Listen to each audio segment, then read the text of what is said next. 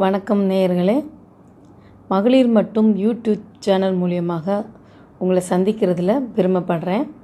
மகளிர் மட்டும் சேனல் முழுக்க முழுக்க மகளிருக்கான சேனலுங்க இந்த வீடியோவை பார்க்குறதுக்கு முன்னாடி கீழே உள்ள சப்ஸ்கிரைப் பட்டனை கிளிக் பண்ணுங்கள் கூடவே உள்ள பெல் பட்டனையும் கிளிக் பண்ணுங்கள் நீங்கள் கிளிக் பண்ணுறனால எங்களுடைய வீடியோக்களை உடனுக்குடன் உங்களை வந்தடையுங்க.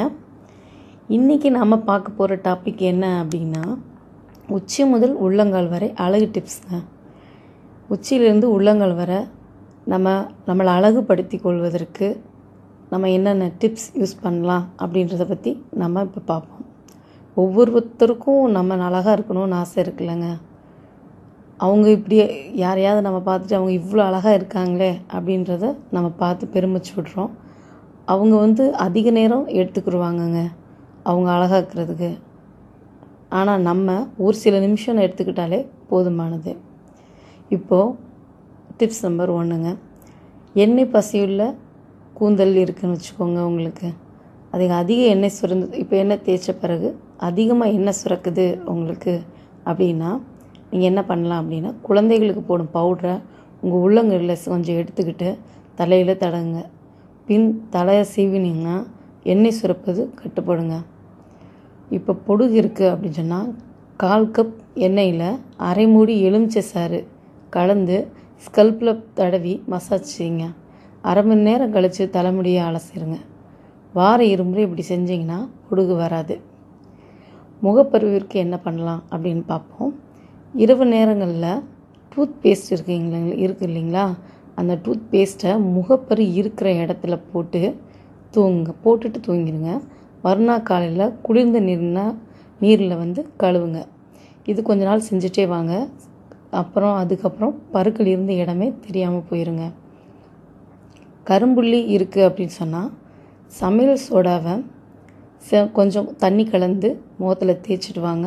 சில நிமிடங்கள் ரொம்ப நேரம் இருக்க வேணாம். சில நிமிடங்கள் கழித்து குளிர்ந்த நீரில் நீங்கள் கழுவிட்டிங்கன்னா முகத்தில் கரும்புள்ளிகள் வர கரும்புள்ளிகள் சீக்கிரமே போயிடுங்க.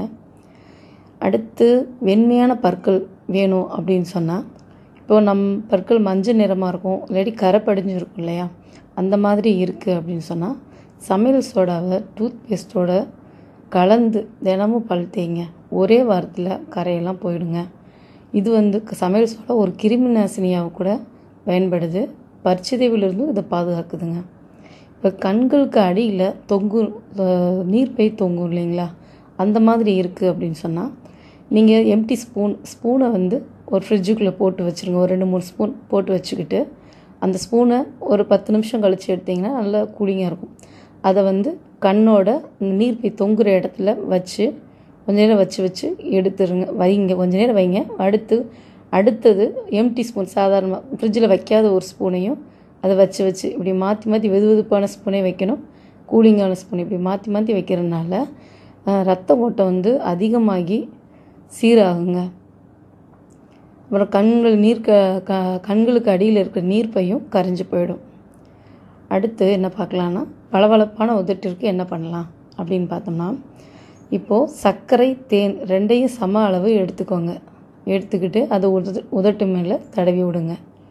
அது அப்படி தடவுறனால நம்மளோட இறந்த செல்கள் வந்து அகன்று மென்மையாக இருக்குங்க. அதே போல் தேன் மற்றும் பாலாடை மற்றும் கசகசா ஆகிய மூணையும் உதட்டில் தடவி வந்தீங்கனாலும் சிகப்பான உதவு கிடைக்கும். அடுத்து பார்த்திங்கன்னா கால் கைகளில் உள்ள முடிகளை அகற்றுறதுக்கு நம்ம என்ன பண்ணலாம் அப்படின்னு பார்த்தா சர்க்கரை ரெண்டு ஸ்பூன் தேன் மற்றும் நீர் ஒரு ஸ்பூன். ஒரு பாத்திரத்தில் இது மூணையும் போட்டு அரு அடுப்படியில் அரை மணி நேரம் ஊற வச்சுருங்க. சர்க்கரை தேன் நீர் மூணையும் சேர்த்து அடுப்பில் வச்சுனீங்க. நல்லா காய வச்சுட்டு ஒரு அரை மணி நேரம் கொதிக்க விடுங்க. கொதிக்க வச்சு இறக்கிட்டு அந்த கலவையை வந்து நம்ம கால் கைகளில் முடி இருக்கிற இடத்துல வந்து தேய்ச்சி விட்டுட்டு அப்புறம் ஒரு அடர்த்தியான ஒரு துணி காட்டன் கிளாத் இந்த மாதிரி கூட இருக்கலாம். அதை வச்சு அமுக்கி எதிர்ப்புறமாக ஹேர் இருக்கிற பக்கத்துக்கு எதிர்ப்புறமாக நீங்கள் இழுத்திங்கன்னா அந்த முடியெலாம் வந்துடும் அப்புறம் சாஃப்டாகவும் இருக்கும். அடுத்து மென்மையான பாதங்கள் நம்மளுக்கு வேணும் அப்படின்னு சொன்னால் என்ன பண்ணலாம் அப்படின்னா ஒரு பக்கெட்டில் தண்ணி கொஞ்சம் எடுத்துக்கிட்டு ஒரு கால் மூழ்கிற அளவுக்கு எடுத்துக்கிட்டு மூணு பர்சன்ட் வந்து ஹைட்ரஜன் பெராக்சைடு சில துளி எலுமிச்சை சாறு சமையல் சோடா ஆகியவற்றை கலந்து இந்த காலில் அந்த தண்ணீரில் மூழ்கிற அளவுக்கு வச்சு ஒரு அரை மணி நேரம் கழித்து நீங்கள் எடுத்தீங்கன்னு சொன்னால் எடுத்துட்டு சர்க்கரையை கொண்டு ஸ்க்ரப் செஞ்சு போட்டிங்கன்னு சொன்னால் பாதம் வந்து பாதத்தில் உள்ள இறந்த செல்கள்லாம் அகன்று பளிச்சுன்னு ஆகிடும் வெடிப்பும் மறைஞ்சு பாதங்கள் வந்து மென்மையாகிடுங்க. இவ்வளோ நேரம் என்னோடய வீடியோவை பார்த்ததுக்கு ரொம்ப நன்றிங்க. மீண்டும் அடுத்த வீடியோவில் சந்திப்போம். அதில் உங்களிடமிருந்து விடைபெறுவது பிரியமுடன் தமிழச்சி. இந்த வீடியோ உங்களுக்கு பிடிச்சிருந்தா லைக் பண்ணி ஷேர் பண்ணுங்கள் வாழ்க வளமுடன்.